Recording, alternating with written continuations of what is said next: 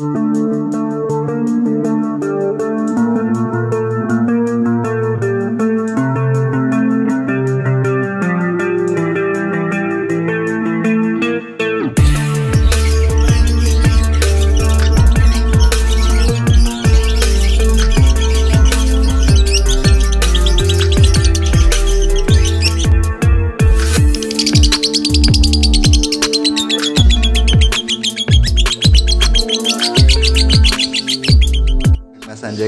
Lanjut Mas An. Siap, Mas. Mumpung saya di kudu.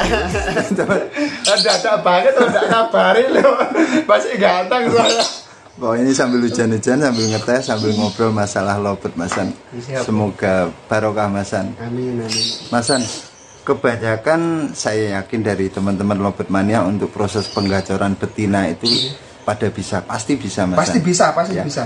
Banyak kan gini Mas An, ketika kita beli lobet yang jadi ataupun setengah jadi, itu dari teknik finishing Mas An. Teknik finishingnya itu seperti apa Mas kalau kalau kita sudah nyolok, udah ada materi, sudah bocor, bahkan minor, bahkan lobet itu seperti masteran. Oke. Itu langkah selanjutnya apa Mas? Gini Om, langkah selanjutnya ini yang ini yang selalu aku tekankan sama teman-teman. Mm-mm. Ketika di rumah sebelum burung itu bunyi, itu diapakan dulu. Hmm. Itu harus ingat kasarannya gini, burung udah bocor di rumah Om ya.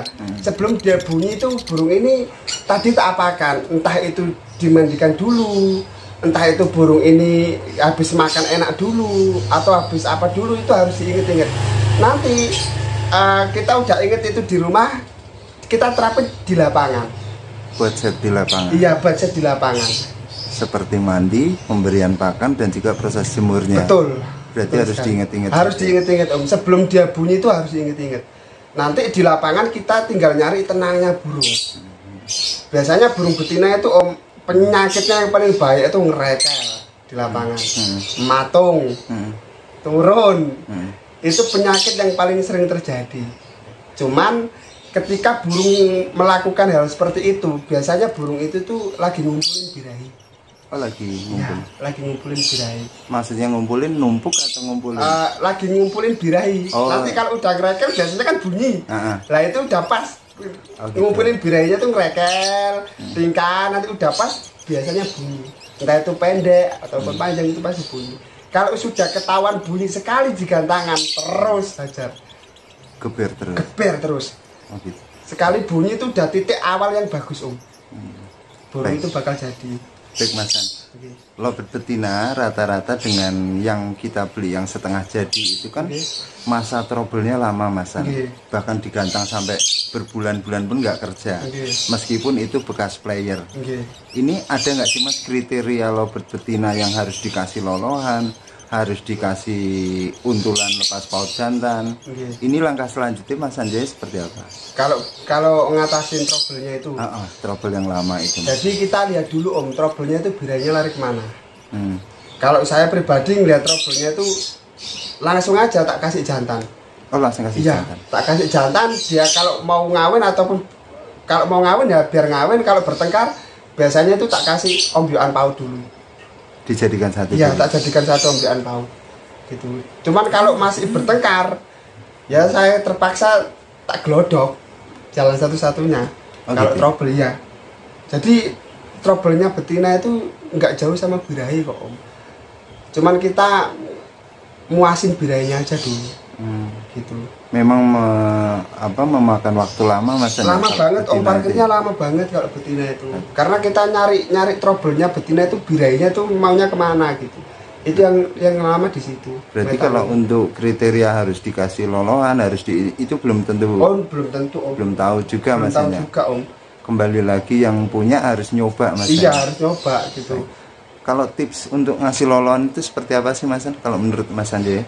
kalau saya ngasih loloan gitu biasanya burung itu habis bunyi nyepah nyepah Oh gitu. iya ngeluarin milet gitu.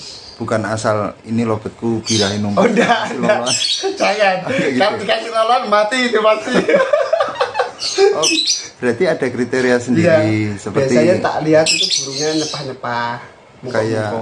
birahi jantan itu Mas. Iya, ngeluarin milet gitu. Itu biasanya saya kasih loloan, cuma loloannya lebih dari tiga. Oh gitu. Mm-mm. kalau misalkan dihajar itu harus ditungguin oh harus ditunggu Iya harus ditungguin.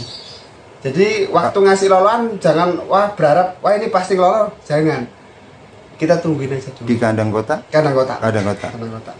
untuk pemberian pakannya jagung Jagung aja. jagung Mm, Jagung aja. baik masan masan pernah ngalamin nggak lobet betina yang awalnya bocor Nggih. terus terjadi kayak lobet masteran itu kan banyak kendalanya di Oh, keluar, jadinya keluar masteran. Ah, ah, ada masteran itu, Keluar isian. Mm-mm, oh, itu- gitu. biar performa lagi gimana mas biar lupa dengan masterannya itu mas Di single aja, Om. single Single aja. Di single aja jauhin sama burung kicau. Kalau di rumah ada kicau. Di single dibiarin aja udah. Kalau malam semprot embun.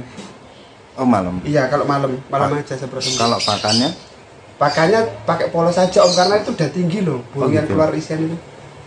oh, gitu rata-rata kan gitu masan kalau betina kan ada suara isiannya kenarinya nanti di gantangan nggak dinilai Iya. Bukan nggak dinilai malah lebih lebih sering burung isian itu lebih sulit untuk di jalan kan iya dijalankan di lapangan. Kebanyakan yang saya lakukan seperti itu lebih sulit. oh gitu Iya. kalau proses durasi masan rata-rata kalau betina kita proses durasi Iya. itu kalau dari Mas Sanjaya ada terapi khusus Banyak banyak terapinya om. Banyak terapinya ada. Saya sering melakukan terapi kayak kerodong basah, burung kering, Hmm, sauna, sauna gitu itu. ya. Terus terapi yang sering saya lakukan itu puyaknya Pak Haji Mahrom. Hmm. Pak Haji Mahrom itu emang kita akuin jos. Hmm. Dulu saya sering ngelakuin terapi itu sampai sekarang ini terapi mandi jemur. oh mandi jemur Iya mandi jemur. berarti habis dimandiin jemur Posisi jemur itu. apa sih Iya posisi jemur. Burung udah lemes tak mandiin. nanti kering mandiin lagi Kering mandiin lagi. itu untuk apa mas durasi Biar tenang aja burung. Oh, biar mapan. Iya biar mapan. Burung mapan. Nanti kalau udah biasanya lima kali saya melakukannya om. Hmm. Lima kali mandi jemur mandi jemur kering baru tak angin-anginkan. oh gitu Iya. Baik. Masan, kira-kira nih kalau kita punya player karena kesibukan kita, Iya. lopit itu nyampah di rumah, itu bisa lupa nggak mas? Lupa kegantangan, performanya turun, itu bisa nggak mas? Kalau keseringan di rumah nggak pernah digantangan. bukan lupa om ya biranya numpuk om Biranya numpuk. iya biranya numpuk itu yang sering saya alami itu seperti itu Hmm.